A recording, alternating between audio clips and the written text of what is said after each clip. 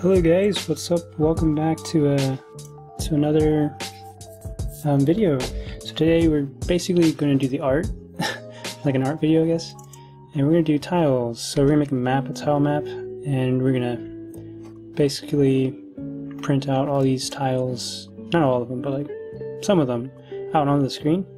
So what I did, or what I used to actually make a tile map is I used a, software called Tiled Map Editor. This will allow you to uh, create a tile map. It's pretty cool. It's pretty convenient. Not not hard to use.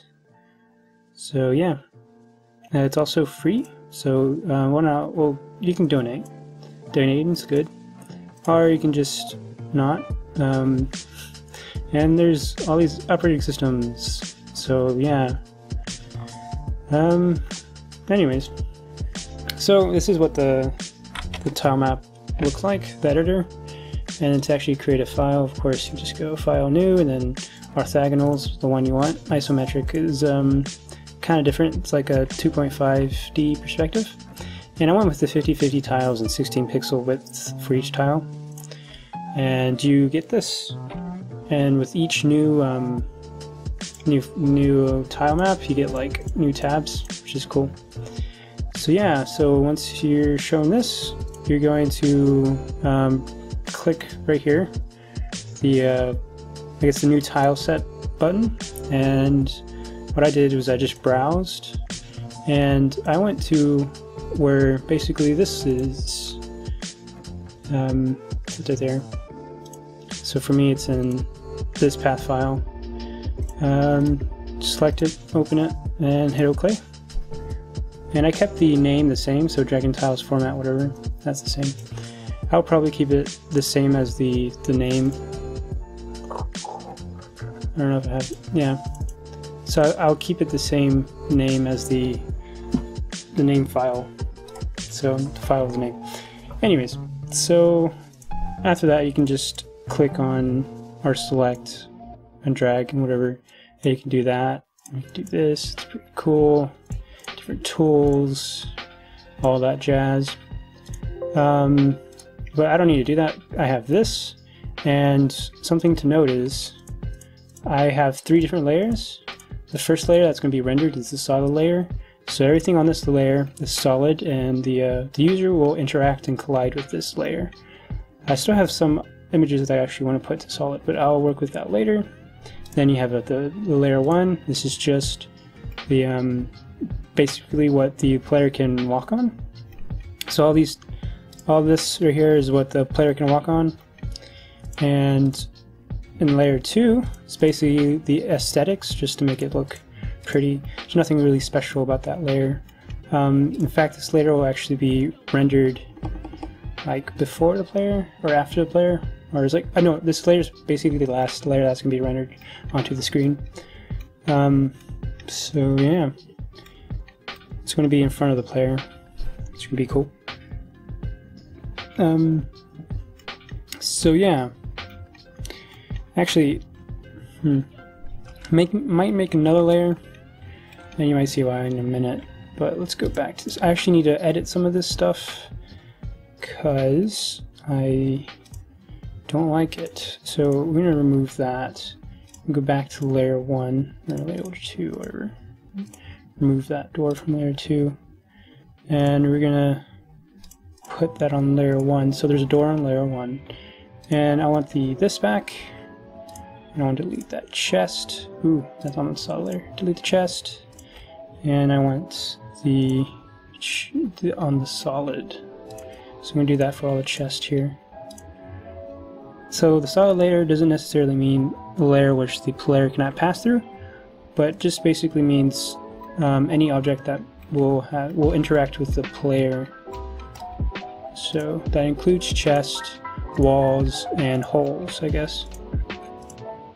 And I can just, oops, select the clone stamp, whatever.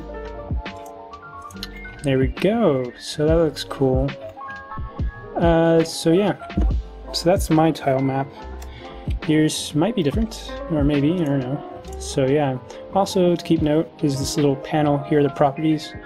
And you can see if we click uh, on this tile right here, basically the background tile, if we can move it to it, this background tile, keep in mind it's an ID of 171, but if you notice that the first tile is actually ID 0, so this is actually, um, if you go on the scale of, of if you did not include the 0, this is actually 172. If this was 1, not 0, then this would be 172. Just to keep in mind, that's how it starts from 0, not 1. That's what I'm trying to say. Anyways, so um, music's actually kind of getting loud for me, anyways. Uh,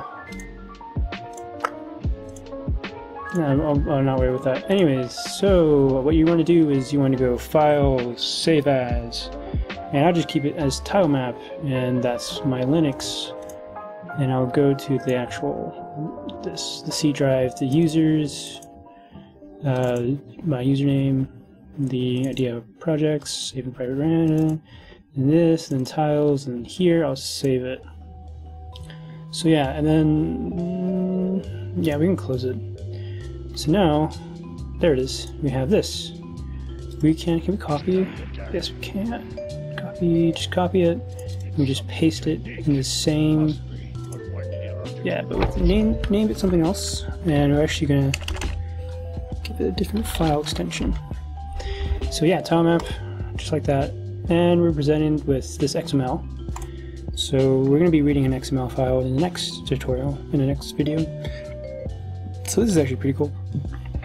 So here you have the, the first layer, which is the solid layer, which is good, because this will be the last layer. Well, this will be the first layer that will be rendered, but also the, um, the, the most back layer. I don't know. But yeah, as you can see, we have a whole bunch of 172s. So that's the, remember, that's actually 171 if you count from um, from zero, but since we're counting from one, we've got 172. And look at all these zeros. The zero basically means that um, there's no tile here. Uh, basically, there's nothing there, basically. So yeah, so it's kind of weird that way, but you can work with it.